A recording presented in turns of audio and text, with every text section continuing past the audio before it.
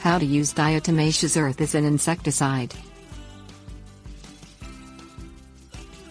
Many people are looking for new ways to get rid of insecticides without using toxic pesticides that endanger children and pets and cause runoff that pollutes lakes and streams.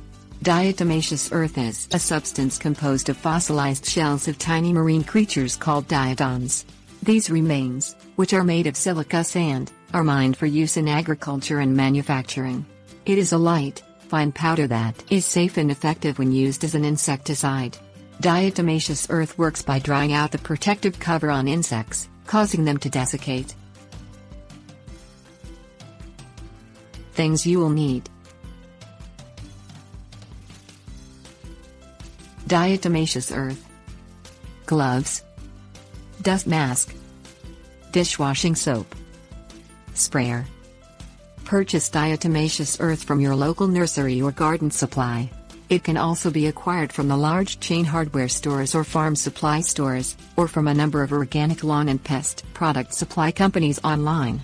Do not use the diatomaceous earth used for pool filters, it is processed with chemicals.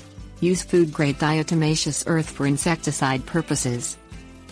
Use gloves and a dust mask when working with diatomaceous earth because, though safe, it can be an irritant when in contact with skin or when inhaled into the lungs.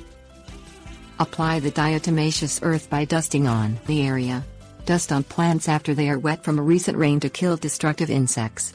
Sprinkle over your lawn to control grubs, chinch bugs and ants. Use diatomaceous earth as a spray. Dissolve 1 to 4 tablespoons in a gallon of water and add a teaspoon of dishwashing soap to make it stick. You can use this in a sprayer to cover high portions of trees and to protect fruit trees. A thicker paste of diatomaceous earth can be used to paint a tree wound to prevent borers. Spraying a solution of diatomaceous earth is a good way to cover a large area like a whole lawn. Remember to regularly shake up the solution to keep the diatomaceous earth suspended in the water or it may clog your sprayer. The diatomaceous earth will begin to work when it has dried. Reapply after heavy rains. Diatomaceous earth must be dry to be effective. Use diatomaceous earth as a safe indoor insecticide when using small amounts. Dust around areas where ants, roaches and silverfish enter your home, around pipes, window frames, doorways, under sinks, into crevices, and behind refrigerators. Dust around the feet of the bed so bedbugs are sure to walk across it and pick it up on their bodies. Sprinkle lightly in attics and basements to prevent termites. Use your hands to dust a handful of diatomaceous earth onto pets to kill mites and fleas. Sprinkle around pets' sleeping areas. Do not apply heavily. Diatomaceous earth can irritate the lungs when airborne but is safe when settled. Tips Warnings